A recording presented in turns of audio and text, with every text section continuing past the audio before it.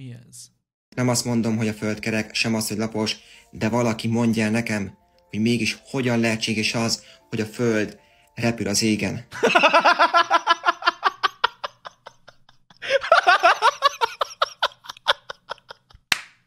Keci! Ezt nem... Ezt... Keci! Azt a kurva! Az szuper! Az... Jézusom! Azt Én erre nem számítottam! Én erre... Jézusom! Ez a kurva!